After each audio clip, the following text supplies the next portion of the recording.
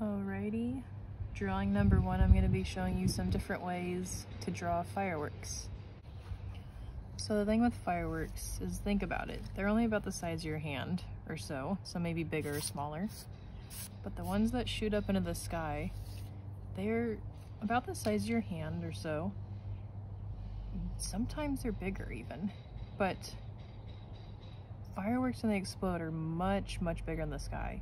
So there's so much pressure inside this little tiny firework that shoots straight up in the sky. It explodes, right? So usually in the center of fireworks, there's a lot of pressure and that's where it all escapes from.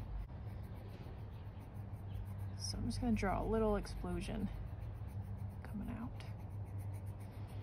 I'm gonna add a lot of color to this one just because I really like all the colors. And once you have this kind of little spiral going on, you're just gonna keep going around it.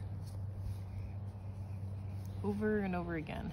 You can change the colors, and it doesn't need to be perfect. Some can even shoot way out far like this.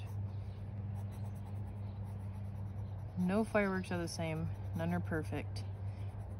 They're always a surprise. They're all unique put some yellow around this. And I just keep going all the way around with different colors. All right, let's speed this up.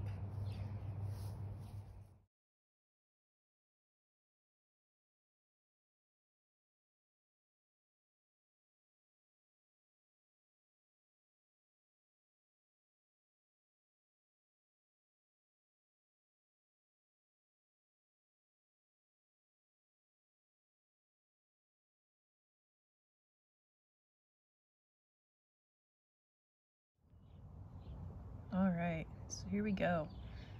So if you look closely, you can just tell it's just little, it's almost like just scribbles, but they're not going all over the place, of course. But if you look closely, there's just little tiny strokes just going back and forth. And they're going kind of around it, like almost like an outline. And you just keep going.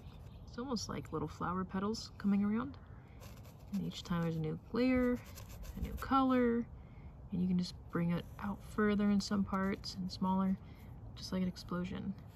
There's nothing that ever the same with all them. They're pretty unique. All right this next one i want to show you guys i don't do as often but i think it looks pretty cool. It's also unique in its own way. So for this one you just go ahead and grab whatever colors. It could be pencil like this one or markers which i'm to do this time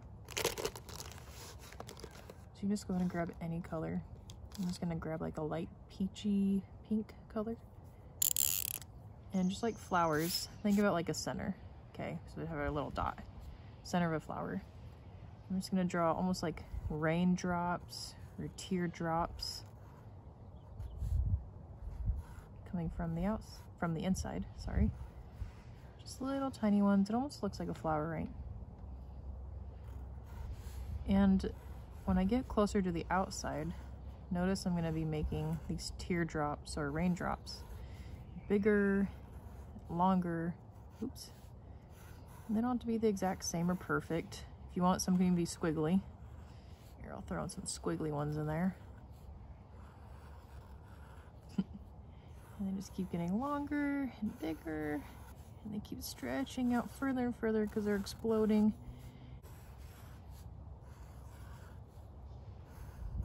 right? So let's do this quick and I'll show you how it looks.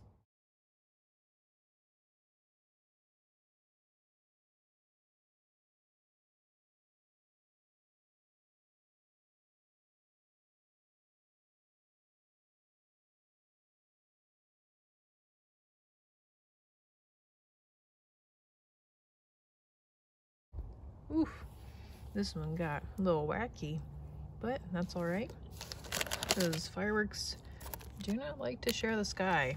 And they kind of just almost do what they want. Like I said, they're unique. And if you want, each of these little shapes that are here, you can start adding in your own color, maybe some like some super cool like silver or golds or metallic colors.